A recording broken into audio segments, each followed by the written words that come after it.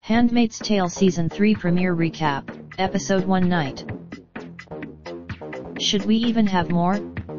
If you're a book purist, but if the American government's uncanny knack for mirroring the oppressive regime of Gilead U via women's reproductive rights, state by red state, you has left you in a flailing rage slash puddle of hopelessness, this return to June's story could be the match you need to light a fire under your own resistance.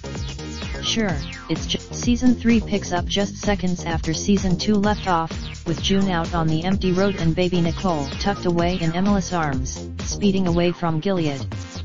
For a woman who, it's convenient that Commander Lawrence, as opposed to, oh, any single other human, finds the spunky June on the road and hustles her into his car.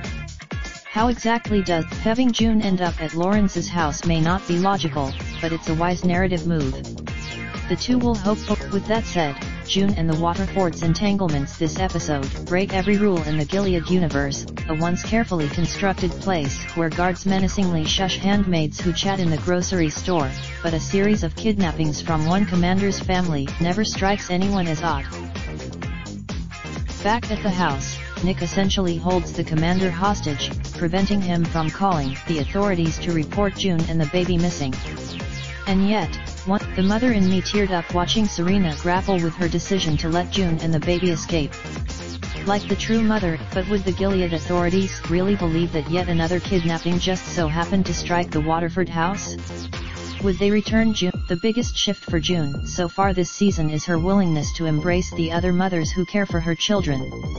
With Serena, not for the first time, Emily's storyline in this episode is more compelling than June's. We aren't shown it. From there, Emily's story turns into an emotional guidebook to how much better we Americans could treat refugees.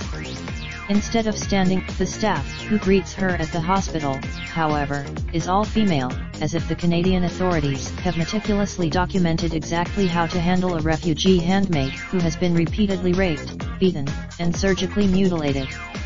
That tenderness has.